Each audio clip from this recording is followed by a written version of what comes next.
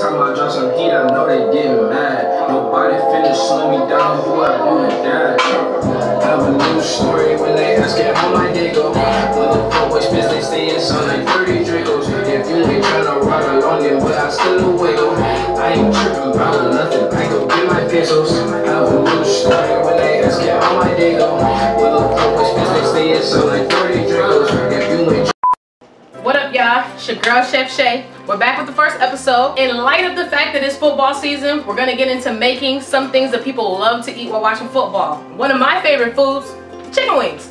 Now, what we're gonna do first is I'm gonna give you guys a little bit of background with some knife skills on how to chop up a whole carrot and make it into little carrot sticks. Same with the celery. Okay, you know everybody wants some carrots and celery with their wings, okay? We're also gonna show you guys how to break down and clean some of this chicken, okay?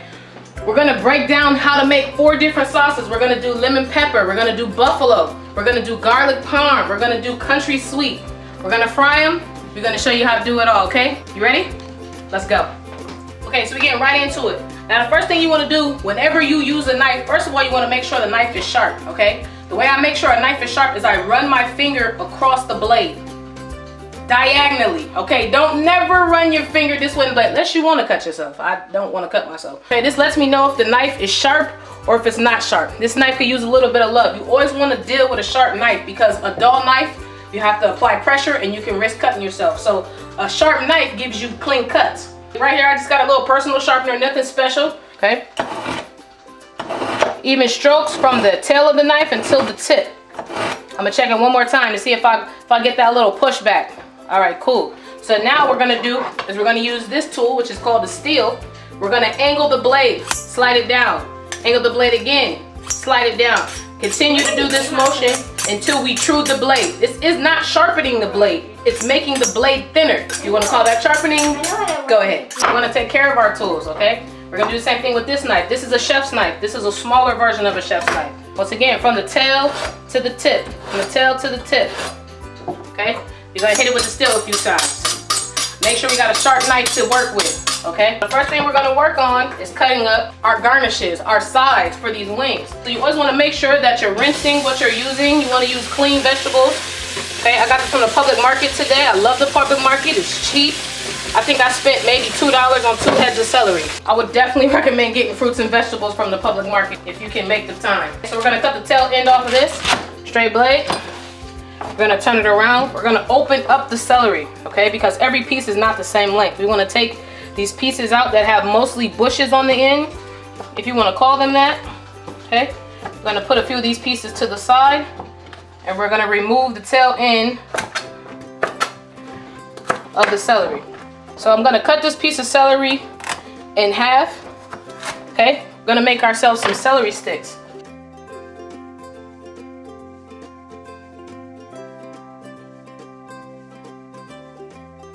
A tip to keeping celery fresh and keeping it crunchy is keeping it in ice cold water or cold water. That way it doesn't dry out, doesn't look all weird. All right, now we got some celery working. The rest of this we're gonna get rid of, put it in the trash. Also, of course, before you start doing anything with any kind of food, wash your hands. Y'all didn't see me wash my hands, but trust me, I wash my hands. I'm also gonna utilize gloves when we start dealing with raw meat and we're switching from raw meat to fresh meat. Well, this ain't meat, but you know, vegetables, chicken. Now we're gonna do some carrot sticks. Now, as you can see, this is round, okay? It's going to roll. I do not want this to roll as I'm trying to cut it. So first we're gonna clean the end off. I'm not gonna take the skin off because it's not gonna hurt anybody. Okay, we're gonna make this smaller and easy for us to deal with. Now the first thing that I'm gonna do is I'm gonna cut a very small piece off of the back. Okay, this is gonna allow the carrot to sit flat on my cutting board and not rock as much as this piece right here is gonna rock because there's no side cut off. I made this part flat so it'll stay still when I try and cut it. Cut quarters of this or thirds or however you want to do your math. I don't I don't care. Okay, and we're just gonna cut these into little strips. They ain't gotta be perfect. Somebody's complaining about the way you cut the carrot, you know, maybe you shouldn't cook for them. like, now something that I'm doing wrong, and, and those of you that cook know that I'm doing this wrong, is anytime that you're using a knife, okay, you wanna tuck your fingers. Okay, if my fingers are tucked like this, the knife cannot cut the tip of my fingers. You never want to hold something like this because if it rocks or it moves, you're gonna cut yourself. The knife is resting up against the knuckle and it's going up and down. Okay, but I'm gonna use the tip of my fingers to dictate how much I'm going to cut and I'm gonna move it back gently. Okay? We're not using this, I'm just showing you a quick technique. Okay? Make sure you got your fingers like this monkey paw. Call it the monkey paw. Monkey paw to carrot. We're gonna make sure we run these under some cool water we want them to stay fresh. We want them to be crisp. Moving right along to the chicken wings. Now, the reason why I bought whole chicken wings is because I know some of you look at this and probably get scared and don't know what to do. Now, a lot of people do this right here and they're gonna tuck this little piece right here behind the head of the drum and you can fry it like this. But because I wanna feed a lot of people, I'm gonna cut this in half and we're gonna take the little tail piece off, okay? We're gonna cut into the skin and we wanna expose that bone, where that bone is at. So that's where we wanna cut to separate the drumstick from the flat. Now I got a wing, now I got a flat and a drumette. Okay, we're gonna do this with the rest of this and then we're gonna start frying them up.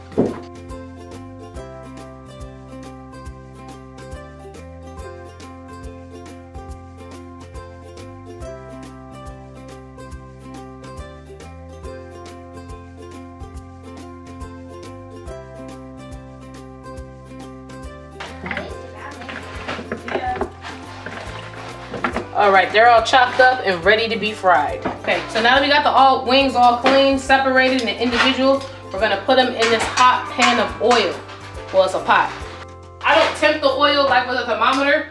You know the trick we do. Wet your finger, the pot is ready. I want to make sure I have enough oil in this pan so that I can deep fry the wings, so that there's oil surrounding the wings. I don't want to overload this pan because it's going to slow down the cooking time and it's going to change the temperature of the oil. What you want to do is you never want to put anything wet, frozen, or any kind of liquid in hot oil, okay? You can start a fire. So what we're gonna try and do with these wings is we're gonna try and take some of the moisture out of them and we're just gonna pat them dry a little bit with a, a regular old paper towel. We just wanna try and soak up some of this moisture so that we're not affecting our oil too much. So we're gonna add some more wings in here. You don't wanna overfill it.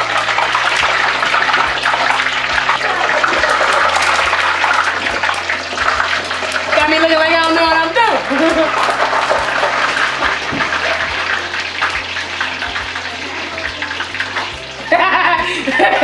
it's you! Like, oh, this grease is hot. Like, hot, hot. Don't want to overwhelm the fryer like we just did. Okay, so while we're waiting on our wings, we're gonna give them about another 10 minutes. We wanna make sure that they're all floating and that the bubbles have reduced. That's a good indication that whatever you're frying is done or it's almost done because the bubbles have reduced and now it's floating.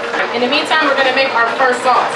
We're gonna make a regular buffalo sauce. Now for those of you that don't know how you make buffalo sauce, it is literally just hot sauce, whatever hot sauce you like, and butter, okay? Good old cheap squeeze bottle from the dollar store, okay? So what I did was I melted some butter. Now, how you make hot buffalo sauce all the way until mild, the more butter you add, the lighter the sauce is gonna be. We're gonna try and achieve just a regular buffalo sauce. We don't want it to be too mild. We don't want it to be medium. We still want it to have a little bit of a kick to it. So we're gonna add a little bit of our butter, okay? And we're just gonna play with it and see the color that we get. That's gonna let me know the flavor that I'm gonna come out with based off that color. The redder it is, the hotter it's gonna be. The oranger it is, if that's a phrase, the oranger it is, the less heat it's gonna have. So we're gonna shake it up, see what color we come up with. Tell me that don't like buffalo sauce. Because it is. We're gonna toss the wings in the sauce once they're done, and boom, we're gonna have buffalo. For our garlic parm, garlic parm are my favorite wings. So we're gonna make our garlic parm sauce. So the first thing we're gonna use for the garlic parm sauce, obviously, is a little bit of butter. Okay, I would say about a quarter cup of butter for the garlic parm. Now, you can use powdered garlic or you can use fresh garlic. For the sake of time, I'm just gonna use some powdered garlic, okay?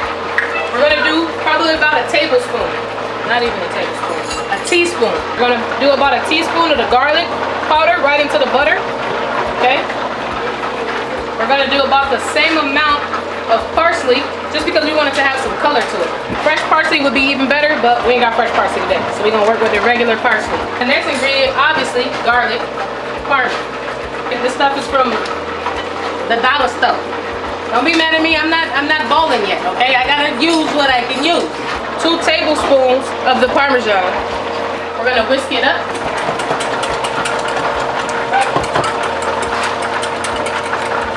Boom. Nice garlic parm sauce. Our next sauce that we're gonna do is gonna be lemon pepper. I love lemon pepper, it's mad good. We just have a basic lemon pepper seasoning. We're gonna do about two tablespoons of the lemon pepper seasoning.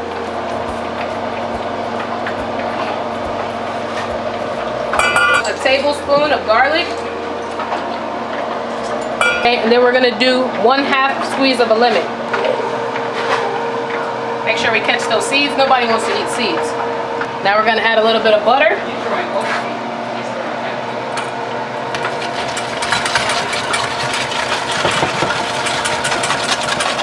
Boom. We got lemon pepper sauce for the wings. So as you can see, okay, now all of the wings are floating to the top, okay? There's very little bubbles. This is a good indication that the wings are ready. Drip off some of that grease so you don't make a mess gonna lay them out so we can get some of this excess grease off. To go ahead and put them directly into the grease, I mean into their sauce. Directly into the sauce and then toss it after that because the heat from the oil that it just got fried in is gonna help coat the sauce over the wings, okay? So we're gonna shake it around, okay? We're gonna do a dip and flip back motion in order to toss the wings, okay? Dip, flip back. Making a mess. And this is the first time that I've used this recipe. So I gotta see if it's even any good. Let's see.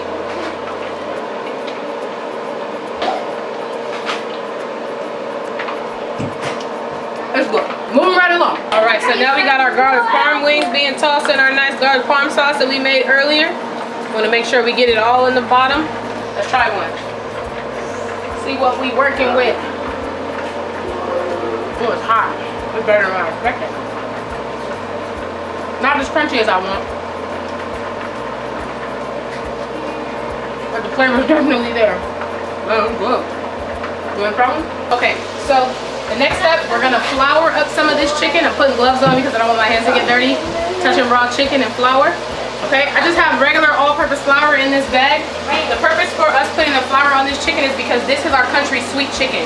This is a thicker sauce and we want it to adhere to the chicken. If we just fry it and we don't put it in any kind of batter, it's gonna run right off. Right into the bag. Had to add another pan of oil because this is taking too long. so we're just gonna shake this in the bag. Obviously, you guys know how to do this. Y'all know how to fry chicken at home. Only difference is this is not getting any seasoning. All the seasoning is gonna come from the sauce itself. So we're gonna tap the side of the bag to get that excess flour off because we do not want a whole bunch of flour. We're just gonna drop it right in the grease. All right, we're all done. Okay, so we got some more wings out that are cooked. They got a nice little crunch on them like I like. You hear that? They're crunchy. So we're gonna toss these ones in our buffalo sauce that I just made. Try not to get it all over me white t-shirt.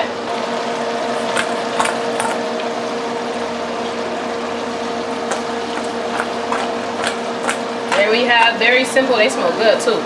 Very simple buffalo wings. Eh, I got too much stuff. I got too much stuff. So now our last batch of wings for our country sweet wings are done. They're floating. The bubbles have reduced. Okay, and if you look at them, they got a nice crisp on them. Okay, got a nice coating on them. So we're gonna toss these right into the sauce. We ain't gonna drain them.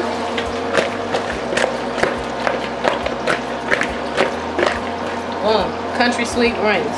Okay, we are finally done with all these wings. Okay, so we have our country sweet. We got our lemon pepper, more country sweet, lemon garlic, garlic parm, more garlic parm, country sweet. We also made buffalo wings, but everybody ate those already, okay? So anytime you're looking for some wing ding knowledge, holla at your girl. Don't be afraid to hit me up, inbox me, Instagram, Facebook, like, share, subscribe, comment. And if you, if you don't like the wings, if they look crazy to you, tell me. What kind of wings do you like to eat? What kind of wings do you hate? This took longer than I expected, but it was fun. The wings turned out great. the people that I'm giving these wings to for being patient with me and looking out for me. I hope they enjoy them. All right, that concludes another tutorial with Chef Shay on how to do wings. Happy football season, even though I don't watch football. All right, like, subscribe, share. I'm out.